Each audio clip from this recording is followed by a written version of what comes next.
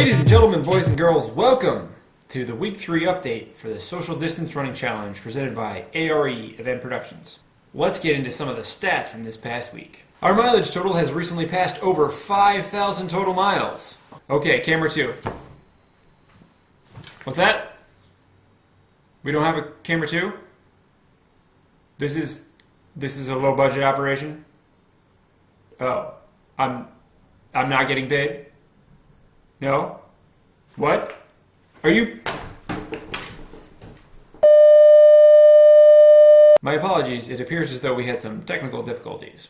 So this week's big news is the referral contest that we unveiled.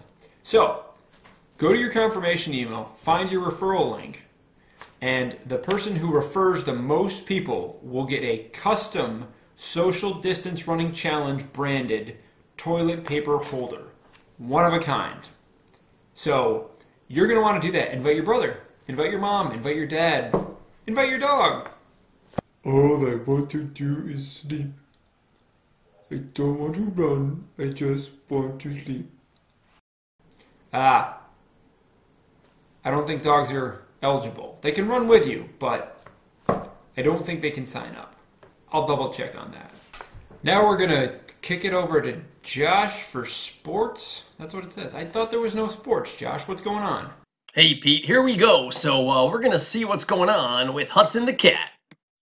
And here we see she's preparing for her and there it is, her first turn. She's rotated once, and uh, she's really off to a great start. Oh, and another one. She's made it back to exactly, exactly where she started.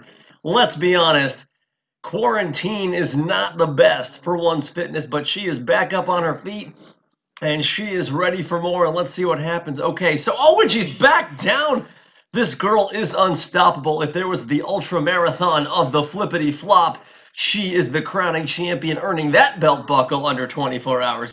Fortunately, she still has her job of staring out the window, but that can wait as she flippity flops yet one more time.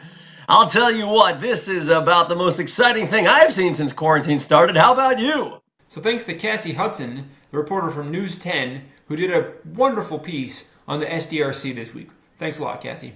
Check it out on the Social Distance Running Facebook page. It's posted there. Let's check out some photos from the week. Here's one from Bridget Enderl. I don't know how to say your last name, Bridget, but we enjoy the photo. That's a very real finish line in the virtual challenge. Here's a photo submitted by Mark Smith, sporting the throwback Albany College of Pharmacy singlet. You know what, Mark? Nice work because there's a lot of people I know that would not fit into anything they wore in college, especially a singlet. So, you're doing all right. Here's one from Nathan Gibson. Looks like he's enjoying some beautiful weather, which I did not find anywhere around the Albany area last week. Actually, I'm pretty sure it snowed last Friday. So, Nathan, wherever you are, stay there. So, for all of us here at ARE Event Productions, thanks for tuning in, keep running, and stay safe.